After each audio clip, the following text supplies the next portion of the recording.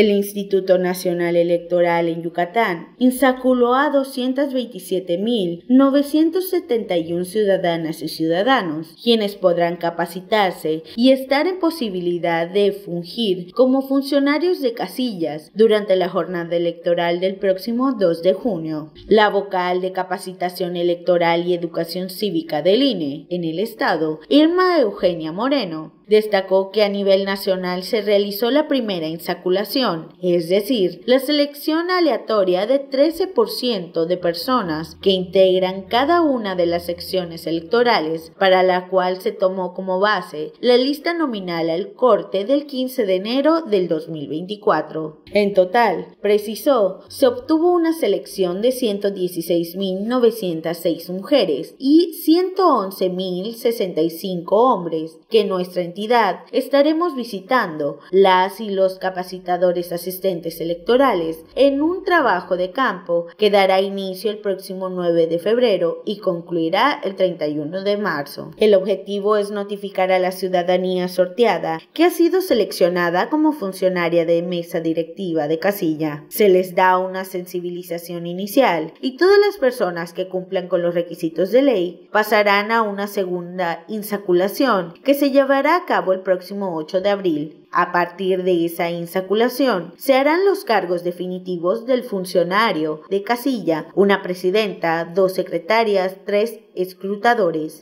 Noticias Teleplay.